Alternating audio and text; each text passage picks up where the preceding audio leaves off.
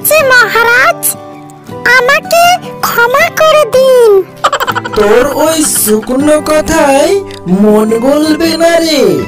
আমি তোকে কড়াইয়ে ভেজে খাব। ও রাজা কাটা দেখ না কেমন সাজা রে। ও রাজা কাটা দেখ না কেমন সাজা রে।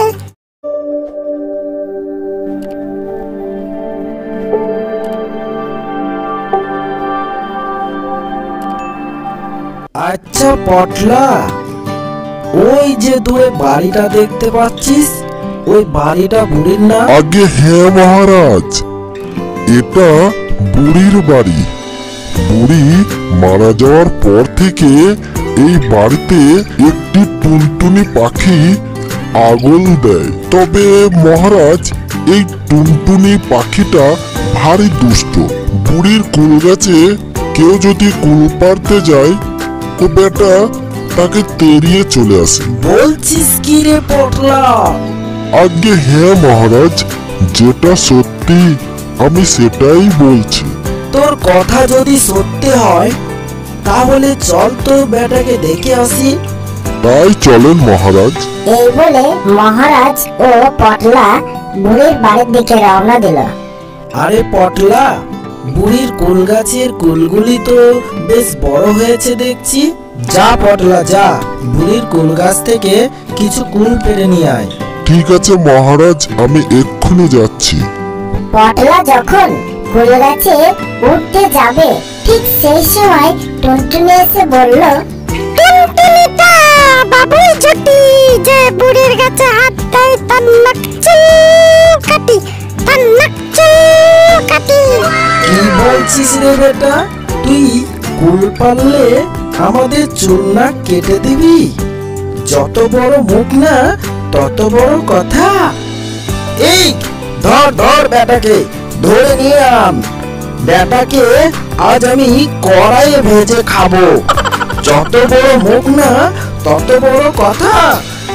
পটলা তখন ছুটতে ছুটতে গিয়ে টুনটুনিকে তেড়িয়ে ধরে নিয়ে আসলো। এই নিন মহারাজ বেটা আমাকে খুব কষ্ট দিয়েছে। এবার তোকে কে বাঁচাবে টুনটুনি? তুই বলিস কিনা আমাদের চুল কেটে দিবি? আমার ভুল হয়েছে মহারাজ। আমাকে ক্ষমা করে দিন। এই কথা আর কোনোদিন তোর ওই শুকনো কথায় মন গলবে না রে। আমি তোকে কড়াইয়ে ভেজে খাব। এই কথা বলে রাজামশাই টুনটুনিকে নিয়ে চলে গেলেন। কোথায় গো মহারানী? গেলে কোথায়? কি হলো মহারাজ? আমি আসছি। এই টুনটুনি বেটাকে আজ ভেজে আমাকে খেতে দিও। আমি এ বেটার ভাজা মাংস খাব। ঠিক আছে মহারাজ তাই হবে। রাজামশাইয়ের বউ তখন একটি ঝুড়িতে টুনটুনিকে ঢাকা দিল। কিছুক্ষণ পর টুনটুনি হঠাৎ বলতে লাগল বড়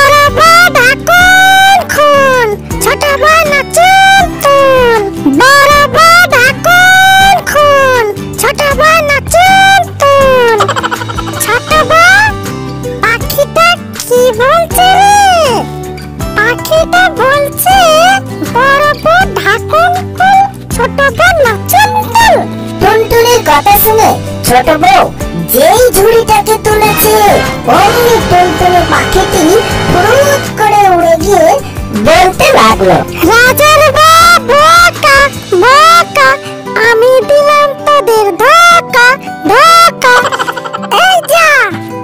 টুনটুনি পাখি তো পালিয়ে গেল।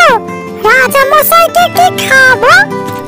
এই কথা ভেবে দুজনে খুব চিন্তায় পড়ে গেল। কোথা থেকে একটি ব্যাং থপাং থপাং করে লাফাতে লাফাতে ওদের সামনে এসে হাজির। আর চিন্তা করতে হবে না বোন। এই দেখ একটি ব্যাং দেখা যাচ্ছে।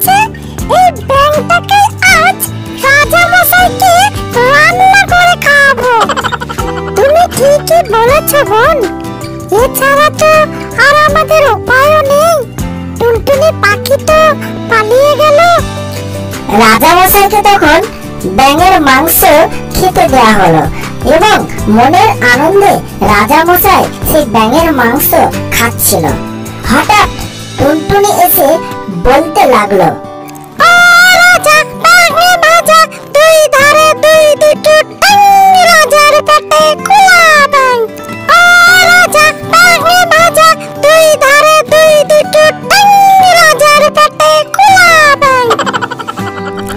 সে কি? তুই মরিস নি এখনও? এই কে কোথায় আছিস? ধর বেটাকে ধর ধর ধর। এই পালিয়ে গেল ধর ধর। পটলা ও রাজামশাই টুনটুনিকে তাড়াতে লাগল। এই নিন মহারাজ এই নিন।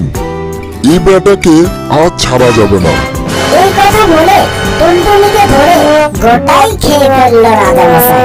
কাল যখন আমি সকালে পায়খানা করব তখন তোরা ছুরি নিয়ে বসে থাকবি। যখন এ বেটা বার হবে তখনই এই ছুরি দিয়ে মারবি এক কোপ। কোপ মেরে এই বেটার মাথা কেটে দিবি। ঠিক আছে মহারাজ আপনি যেটা বলছেন সেটাই হবে। পরের দিন সকালে রাজামশাই পায়খানার জন্য প্রস্তুতি নিচ্ছিল এবং সিপাহীগণ রাজামশাইয়ের পেছনে দাঁড়িয়েছিল কখন রাজামশাই অর্ডার দেবে।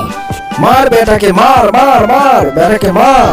সিপাহীগণ, রাজামশাইয়ের কথা শুনে যে কোপ মেরেছে, অমনি টুনটুনি পাখির গলায় না লেগে রাজামশাইয়ের পুঙাতে কোপটা লেগে যায় এবং রাজা রাজামশাই পড়ে যায়। এদিকে ভাগ ভেজে টুনটুনি তখন উড়ে ডালে গিয়ে বসে এবং টুনটুনি বলতে লাগল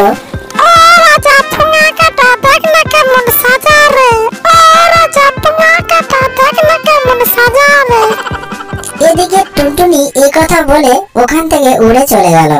এবং সিপাহীগণ এদিকে রাজামশাইকে ঘাড়ে করে নিয়ে রাজসভার দিকে রওনা দিল সিপাহীগণ।